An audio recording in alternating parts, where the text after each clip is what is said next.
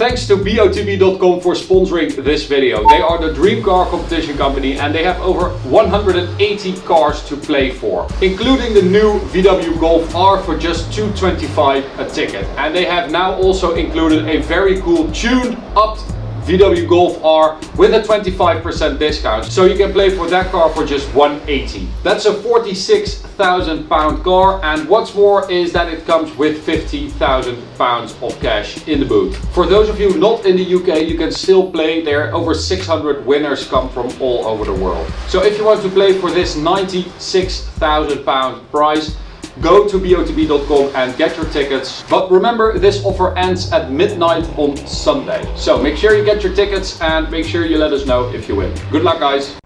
What's up ladies and gentlemen and welcome to this POV review by Autotop.nl. My name is Max and today we've got the all new 2021 VW Golf R, the Mark 8 Golf R. And this is, the, the Golf Rs are always super highly anticipated and we've been Looking forward to driving this car for quite some time, but as you can see, the weather is crap. And to make matters worse, we only have this car for like three hours. So it is now uh, 4.30, as you can see. We picked this car up at three and we have to return it at six. So we've got three hours with the car and of course it rains. So Unfortunately, nothing we can do about that, but we're going to make a review nonetheless. I'm going to show you around it, show you all the cool stuff on it, and then we'll take it for a drive towards the Autobahn for a little wet Autobahn blast. But before we begin, don't forget to subscribe and hit the notification bell to receive updates when we upload a new video. And check us out on Instagram if you like, at AutoTopNL for some behind the scenes footage. So we're going to cover the new Golf R and we're going to focus on the R stuff, of course. R. It is a new R. And at the front, I mean, we know this look from the new GTI, that flat nose with the LED bar running across, which is not on right now. Let's see if we can get that to turn on. I think this should turn it on. Yeah, so now it's turned on. As you can see, everything is turned on. And of course, we've got a more aggressive front bumper with air intakes and stuff like that. Um, this car has the optional performance package, which means that you get 19 inch wheels, really like these wheels. They are quite beautiful, wrapped in Hankook rubber. And uh, we've got new, bigger brakes with aluminium brake calipers, 357 millimeter discs at the front, perforated discs. Uh, braking performance should be much better than before. But uh, as I said, performance package, which gives you that upgrade from 18 to 19 inch wheels. And it also gives you this rear wing, which is more aggressive and a bit motorsport inspired. You can see that it's actually quite a big wing and it looks really cool, I think, on this car. You also get two extra driving modes with the performance pack, but uh, we'll talk about that later. Uh, this car also has the optional Akrapovic titanium exhaust, which looks beautiful, perforated as well with an Akrapovic logo on there. And the bangs you get with revving are actually super, super loud. Uh, when you're driving though, it is almost completely silent, but the revving is loud. Now, I'm going to show you the trunk because I noticed someone asked me to show you guys the trunk in the review. So here it is.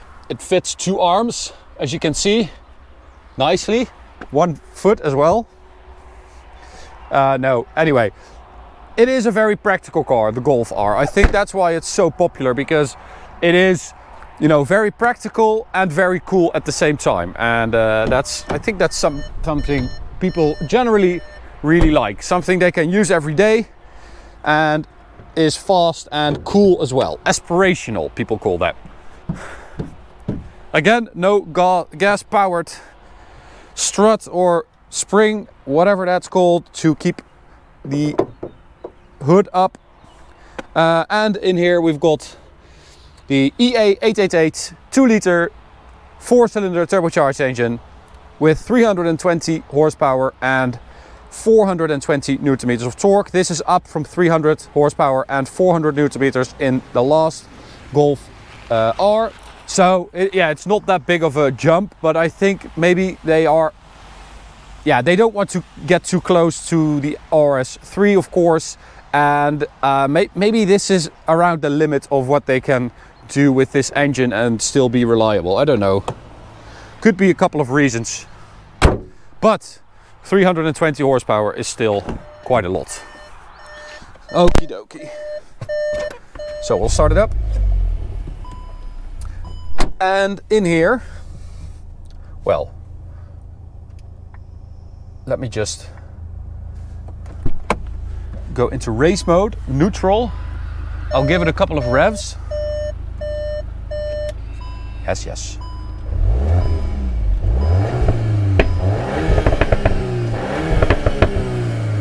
So you've got a few nice bangs and sometimes, oh my God, I hate this.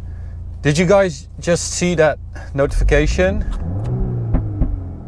I got a notification with an eco tip. Do not use throttle while standing still. I'm in race mode for God's sake. Come on. Let me just rev the hmm, the car. Okay, anyway, uh, on the interior, we've got a lot of blue accents. So we've got these R bucket seats with that check on there uh, in blue, blue stitching. Uh, these are actually, what is that? Is that like Alcantara? Feels softer. Maybe. Um, but they are nice and supportive and sporty, uh, quite comfortable actually, quite soft. But still you've got nice bolstering. We've got an R steering wheel with blue accents and an R logo as well, blue stitching beautiful steering wheel with pedal shifters that are bigger than in the GTI, which is great because this is so much better to drive. The GTI's pedals are a little bit too small, if you ask me. I don't think we should talk about this anymore. I've bashed it enough in the past. This is absolutely horrible, okay? I've seen so many things recently, even after my review with the Golf GTI. I've done three reviews, I think, now with the GTI Mark 8, and every time I drive this car. I am driven absolutely mad by this system. Um, the climate control stuff here is not illuminated, for instance, which is also rubbish. And I've seen a lot of videos of people who are saying that their systems crash and it's absolutely horrible. And then there are also the ergonomic reasons uh, for this system being rubbish, like it being everywhere six clicks into the system to get anything done. But anyway, I'm not going to uh, spend too much time on that. It's my least favorite part of this car. Now, we've got digital speedo, of course, and we are going to change that because we have a lot of different modes. So I'm going to use the one with the biggest rev counter and speedo. This one. So this is the R speedo, I would say. We'll put that in drive. We've got uh, the 7-speed DSG gearbox, of course. And if we go into mode right here, you can see that we've got comfort, sport and race. And I think within race mode, I don't want audio. See, this is horrible. Stop. Stop it. In ra within race mode, you've got drift and Nürburgring mode. So Nürburgring is the basically the settings they used to set the Nürburgring lap time, which was like under eight really quick. Uh, but drift mode is the drift mode is the one we're going to use. Yes, we want to use drift mode. Everything ready? Yes, here we go. Drift mode is available with this car, and that we're going to talk about that quite a bit because it it changes the way the Golf R feels a lot. And it's also the biggest change uh, in this car compared to the previous one. I'm going to try and do a 180 and force it a little bit because we don't have, you know, crazy drifting corners. So you can see that it actually sends a lot of power to the rear if you want it to. Um, I'll try to do that again.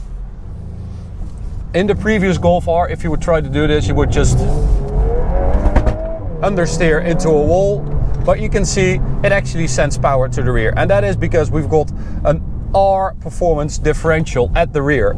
So we've got, ah, we've got the regular Haldex system, which sends up to 50% of the power to the rear.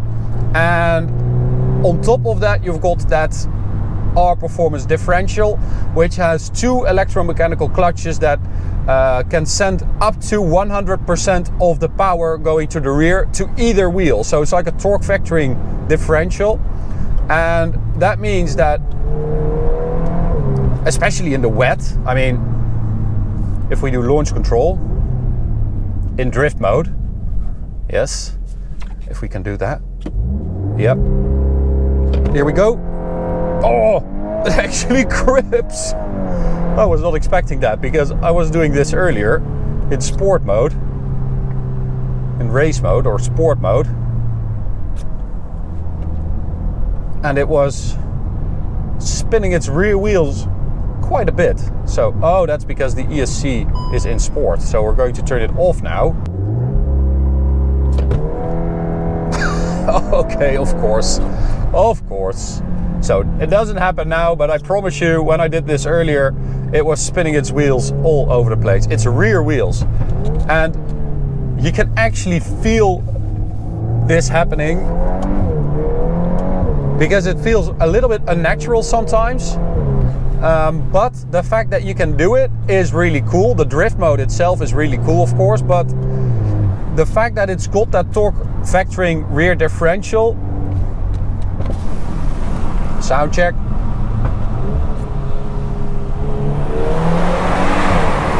Yeah, it's it's pretty quiet on the outside. The fact that it's got that torque vectoring differential means that in this corner, third gear, full throttle, I can actually feel the right rear being pushed forward. And that is such a great feeling because it makes the car feel more nimble, more agile, less understeered, uh, which is really, really good. But because that's basically the character of a Golf R, the previous one is just understeer. If you start pushing it, you know, on a wet day or on a hot day with, with hot tires, it's understeer. And with this one, it feels more neutral, more balanced, more aggressive. Um, yeah, and I would say that that's actually a really, really big step up for the Golf R in general. Why did the freaking thing change? Does that change every time you change driving mode or what the hell is up with that? Okay, so this is the thing we want and I'm going to install the Speedo Cam BRB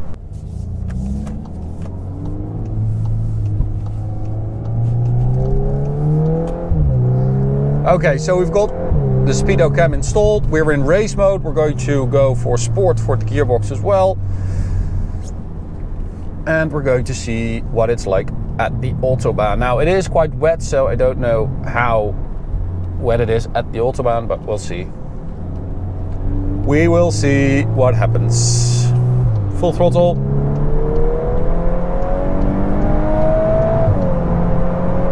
So the sound in here you can hear is a bit artificial, sounds like a computer game, and the shifts are lightning quick. Especially the downshifts are quite a bit quicker than with the previous car, but the upshifts are super fast as well.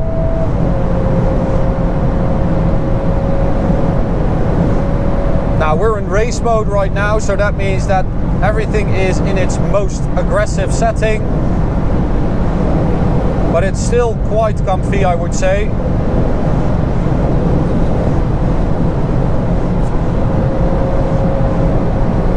That was 266 on the speedo. Now, because we have the performance spec, that also means that our top speed is limited at 270 kilometers an hour instead of 250. Now, of course, we've also measured the 100 to 200 time, which was 11.89 seconds, which is respectable, I would say. Uh, I'll put up a screenshot of the list on screen right now so you can see where it fits in. Uh, but 11.89 is not bad at all. Now, something that is really impressive is that we've actually been able to measure a 0 to 100 in these conditions, 0 to 100 kilometers an hour, in four and a half seconds. That is really, really quick. Uh, VW says it will do 4.7 seconds, but 4.5 on a road this wet is absolutely insane. So everything has gotten faster, quicker, better. Yes, yes to all. Uh, better engineered, probably. They've spent even more time. Hey, that's my car. Hello. Beautiful. Ugh. So kick down, it still has to think for a second, like with the last car. Um, but anyway, everything has gotten better and more efficient, faster, more powerful. But I mean, is it a lot of fun to drive? No, not really. Um, it's a bit clinical, this car, you know? It's a bit distant. It doesn't really try to to get you to have fun or anything like that. Yes, it's got drift mode, but I don't know. Everything just feels very, very efficient. Oh, those brakes are very powerful though. Really good brakes. Uh, so we've got a new aluminium subframe at the at the front, which means that the uh, weight at the front is down, of course.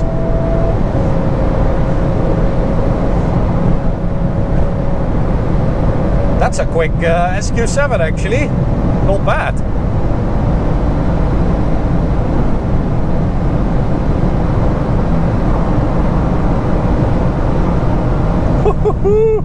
That's 270 on the speedo. the stupid speedo cam that keeps falling off. I'm just going to turn that off. I hope you guys can see this one still. Anyway, as I said, new aluminium subframe, uh, which is lighter, uh, brakes are lighter, everything is better.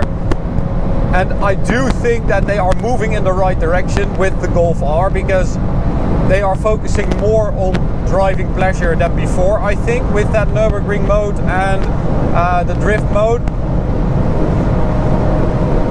But you know, it's still not a lot of fun. It's still not as much fun as the GTI, for instance.